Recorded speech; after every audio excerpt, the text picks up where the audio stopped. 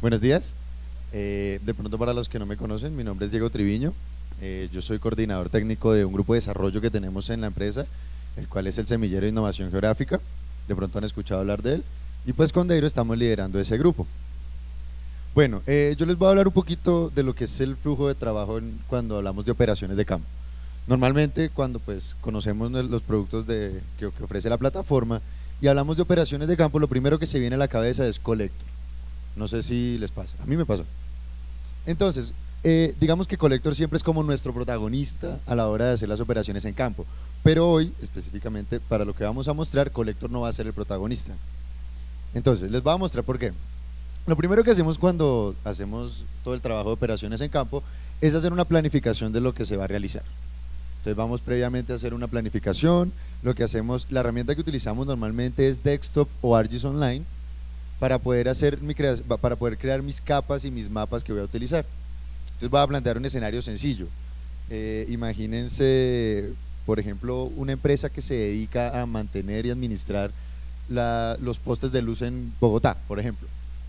Entonces lo primero que yo hago es planificar cómo voy a hacer la captura de datos, cómo voy a almacenar todo, mi geodatabase y publico servicios ya sea en ArcGIS Online o Desktop, un servicio que me permita, por ejemplo, revisar esos puntos o los reportes de las personas de esos puntos y el estado de, las de, las, de, las, de, las, de los distintos postes. Entonces, si por ejemplo a mí me entra una llamada, de, me, me, hacen el reporte, qué pena, este poste no cuenta con la luz, está fallando, yo pongo el punto en el mapa y ese servicio que voy a alimentar es el que yo creo con estas dos herramientas. Entonces ahí empezaría como nuestro flujo de trabajo. Ahora, viene una segunda parte y es una aplicación que se llama Workforce for, ArcGIS. No sé si han escuchado hablar de esta aplicación. Es una aplicación que pues es de las nuevas que ha sacado la empresa y es una aplicación que me permite a mí administrar todo el flujo de asignaciones de trabajo. Entonces, ¿cómo funciona? Digamos que Workforce cuenta con tres tipos de usuarios. Entonces, el primer tipo de usuario es el administrador o dueño de los proyectos. Aquí todo se maneja es por proyectos. Entonces yo tengo un proyecto, creo un proyecto, en este caso específico, por ejemplo, la validación de esas llamadas que me hacen de, los postes sin luz, ese va a ser el proyecto. Poder hacer la validación del punto que me están reportando. Entonces, con Workforce, yo como usuario, administrador o dueño, lo que hago es crear el proyecto y empiezo a definir todas esas asignaciones que yo sé que mi equipo de trabajo puede hacer. Entonces yo defino, por ejemplo, la validación en campo, eh, por ejemplo, revisar que, hacer, hacer, revisar que el cambio se haya efectuado o que, el, o que el poste ya esté listo. Todas esas asignaciones de tareas yo las voy generando como administrador. Entonces, después de esto llega una, una segunda, un segundo usuario, que es el usuario de despachador, lo llaman ellos. Entonces, el despachador es la persona encargada de decir, bueno, ya tengo la lista de asignaciones, tengo la lista de los trabajadores en campo, lo que voy a hacer es empezar a asignar a cada uno ese trabajo. Entonces en Workforce yo puedo decirle, bueno, la asignación es la siguiente, este trabajador va a hacer esta asignación en esta ubicación. Y ahí es donde entra el mapa a jugar un rol importante. Pero solo estoy trabajando con, información de, tareas. Todavía no han hecho nada de capo ni han trabajado nada, simplemente la asignación. También yo puedo monitorear, por ejemplo, el estado del trabajador, en dónde está ubicado, eh, si, está, si inició o no una tarea, si desea finalizarla, si ya la terminó. Todo ese tipo de análisis se pueden hacer con la aplicación. Y finalmente, pues está el tercer y último rol, que es el trabajador, como tal. Entonces a él obviamente ahí se generan dos mapas distintos. Un mapa para los publicadores, para que puedan guiarse en, pues en, el espacio y ellos puedan tener su referencia propia. Entonces yo puedo agregar capas, cualquier tipo de capa que yo sepa que es de información valiosa para el, para el despachador. Y adicional, él crea otro mapa distinto, que es el de los trabajadores. Entonces yo podría asignarle, por ejemplo, si yo sé que tengo un trabajador en, un, en una zona específica, yo puedo en ese mapa a ese trabajador asignarle una referencia, una capa de referencia para esa exclusiva zona, un área de interés. Entonces todo eso lo puedo trabajar acá. Y el trabajador en campo obviamente tiene su aplicación móvil, en estos momentos se lanzó para iOS, no está disponible para, para, para Android, pero ya pronto la van a sacar, la están desarrollando y después de que lancen la de Android empiezan el desarrollo de la de Windows Phone. Entonces, por ahora está así. Esta es una aplicación que se encuentra en estado beta, entonces puede que haya uno que otro error de pronto que encuentren mientras la navegan, pero pues es bastante útil. Bueno, con eso yo me encargo de hacer toda la coordinación de mi trabajo y verificar que mis trabajadores estén haciendo lo que deben estar haciendo o asignarle tareas. Pero aún no han capturado datos. Entonces para esto viene la tercera parte, que aquí es donde viene el famoso Collector for RGs. Entonces él sí me permite hacer esa captura de datos. Con, con WordForce yo le asigno el trabajo, perdón, con WordForce yo le asigno el trabajo, pero con Collector mi trabajador hace la captura del dato como tal en el web map o en la capa que yo creé previamente con desktop o con online. Adicionalmente hay otra cantidad de herramientas que podemos utilizar.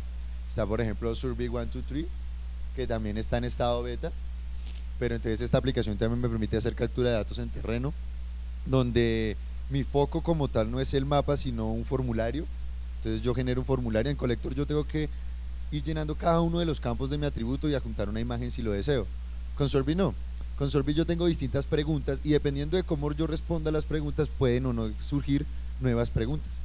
Entonces, si por ejemplo, no sé, una de las preguntas es el, estado de la persona, si, si, se encuentra soltera, casada, viva, dependiendo de la respuesta que yo dé, yo puedo asignar otros tipos de preguntas distintas para cada una. Ahora, yo puedo adjuntar imágenes no a un punto, sino a una pregunta. Entonces la pregunta esta vez ya tiene adjunto una imagen no como colector que la, imagen es, es, única del punto o del registro. Esta aplicación también se encuentra en estado beta, pero también ya la pueden probar, ya está disponible en las distintas tiendas. Esta sí está para todas. Dime. Para Android sí está también. Esta sí está disponible ya para todas.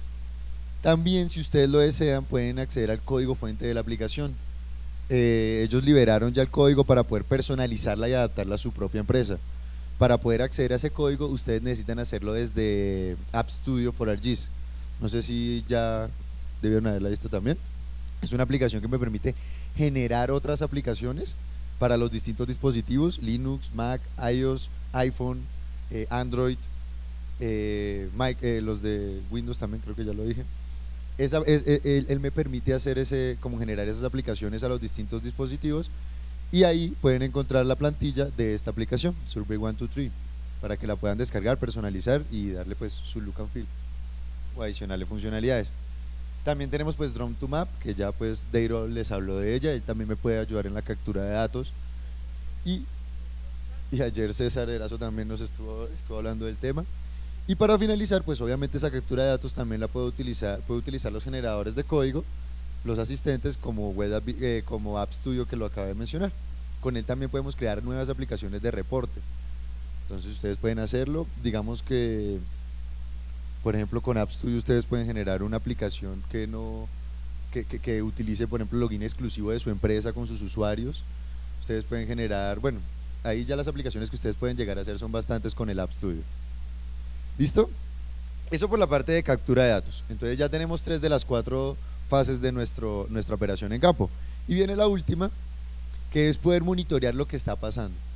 Poder yo empezar a hacer ciertos análisis y ciertas evaluaciones de lo que yo estoy viendo. Entonces ahí la aplicación estrella es Operation Dashboard. Yo con ella puedo empezar a, a monitorear en tiempo real los datos que me están dando.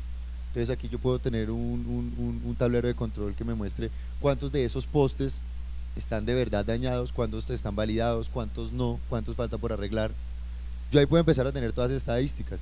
Y pues obviamente con la utilización del mapa puedo potenciar mucho más lo que, el ejercicio. Yo podría tener zonas en las cuales eh, yo sé con un mapa de calor que hay una cantidad muy grande de farolas que ya no sirven. Entonces podemos mandar toda una cuadrilla completa que arregle eso. Entonces este es el flujo de trabajo completo. Digamos que también tenemos un generador de código que nos puede ayudar a hacer análisis, que es Web Builder, que me imagino que también lo han escuchado hablar. Entonces con Web Builder ustedes pueden llegar y generar sus propias aplicaciones con sus propios análisis. Pues como Web Builder cuenta, Web Builder cuenta pues con, con, la posibilidad de yo generar nuevas aplicaciones con los nuevos widgets. Ustedes pueden crear sus propios widgets, no necesariamente los que están ahí. Entonces ustedes pueden hacer sus propios análisis también. Entonces esto es lo que les quería mostrar, este es el flujo de trabajo de lo que son operaciones en campo. Entonces, aquí. Aquí están los... Ah, bueno. Entonces, eso era como lo que yo les iba a mostrar, una pequeña intervención. Y los dejo con Deiro que les va a mostrar como los, los lanzamientos de este año. Sí, bueno, ya para finalizar la presentación, eh, Diego utilizó algunos términos técnicos de las aplicaciones, por ejemplo, eh, fue enfático en el uso de, App Studio. Es una, es, una aplicación muy poderosa en el sentido de que solamente con el uso de App Studio yo puedo generar con un solo patrón de desarrollo, es decir, con solo generar una vez el código, puedo generar la misma aplicación para múltiples dispositivos, para Android, para iOS, para macOS, para Windows, para Linux. Entonces, en ese sentido, digamos que la intervención del semillero el día de hoy era para darles ese mensaje. Cuando ustedes como partners necesiten un apoyo en un desarrollo, por ejemplo con App Studio, pues no duden en, consultarnos, estaremos ahí para ayudarles. Eh, para finalizar, retomo, eh, vamos a ver eh, un poco el roadmap de los lanzamientos de la plataforma sobre este en este año. El primero pues que se dio ya en este primer Q fue el de ArcGIS Desktop 10.4 y para el segundo estamos viendo 10.41 y sobre el final de año 10.5. Como lo decíamos, el cambio de versiones es muy rápido. Nuevas funcionalidades aquí hacia final de año. Eh, ayer veíamos o eh, les mencionaba, por ejemplo, una extensión muy importante para ArcGIS for Server sobre la cual se ha venido trabajando desde el año pasado. Está en Technical Preview, todavía no se ha lanzado el beta, pero esperamos que ojalá la liberen pronto para final de año, que es la de GeoAnalytics para Big Data. Esa es la que, pues digamos que estamos esperando muy, muy, como con muchas ansias. Igual que para desktop, pues tenemos el lanzamiento paralelo contra server, entonces tenemos también versión 10.41 sobre el segundo Q y la versión 10.5 eh, a final de año. Drone to Maps en beta en este momento y la versión 1.1, es decir, el primer release eh, en mayo en el Q2 para los desarrolladores que trabajaban con ArcGIS Engine era digamos que un patrón de desarrollo que me permitía generar aplicaciones de escritorio muy poderosas eh, orientadas hacia los elementos eh, COM de, Microsoft y um, la noticia es que el último release de ArcGIS, Engine es este año fue el 10.4 y de aquí en adelante el trabajo de ah perdón antes de pasar eh, se me queda el API 4.0 de JavaScript que va a ser liberado ya dentro de poco. En este Q, en junio, más o menos en junio, tenemos liberado el, API de JavaScript 4.0 y les estaba comentando de ArcGIS Engine que era eh, un conjunto de elementos o un framework que me permitía desarrollar aplicaciones de escritorio eh, para personalizar ArcGIS for Desktop y generar aplicaciones muy similares con el mismo comportamiento.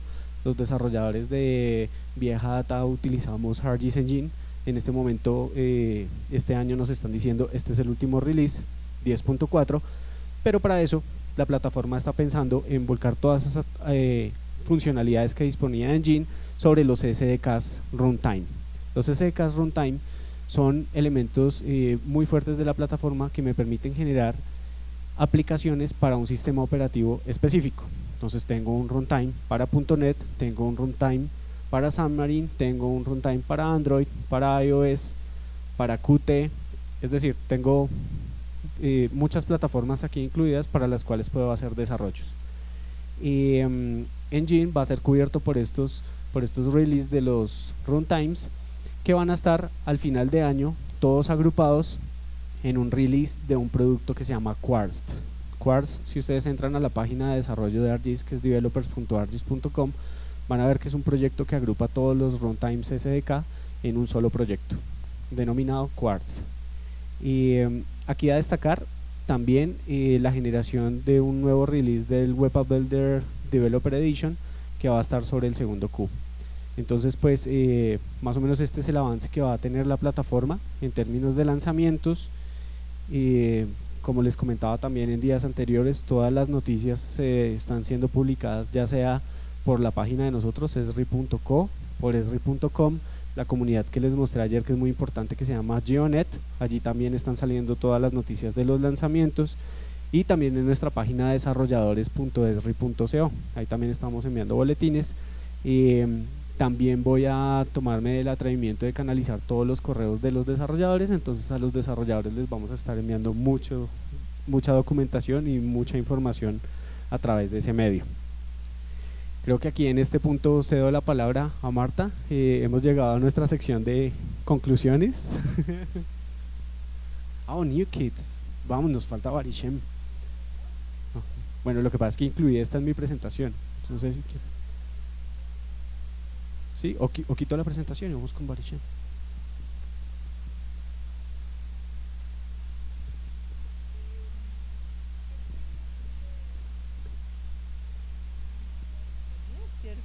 Pero Servio Información pues ya ha estado participando todo. Eh, siempre presentamos el partner que llega nuevo, ¿ok? Y en esta ocasión eh, realmente para nosotros es muy, muy placentero presentar a Barichem, que no sé si necesita que le conecten su computador y todo eso, ¿cierto? Eh, yo solo hago una pequeña introducción porque realmente quiero que ellos sean los que nos cuenten mucho de sus soluciones. Barichen era un cliente nuestro, ¿sí? Todo el tiempo. Barichen es una compañía que provee soluciones y servicios al sector petrolero, ya lo vamos a ver.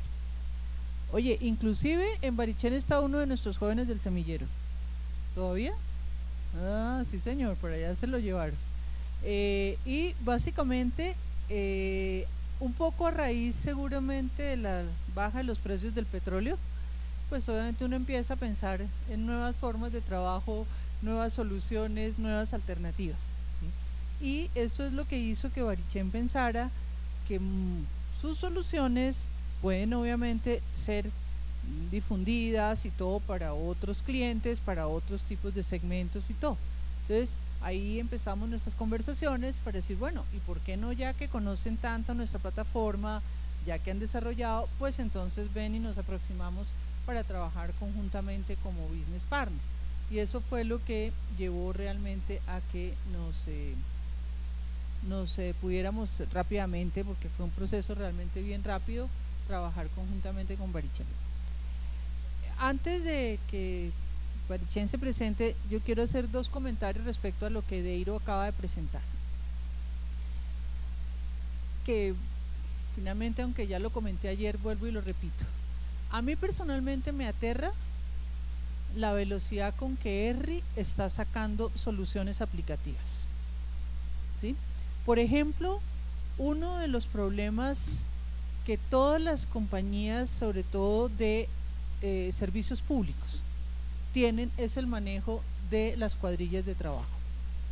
Y hay pero soluciones súper sofisticadas como realmente simples para el manejo de las cuadrillas de trabajo.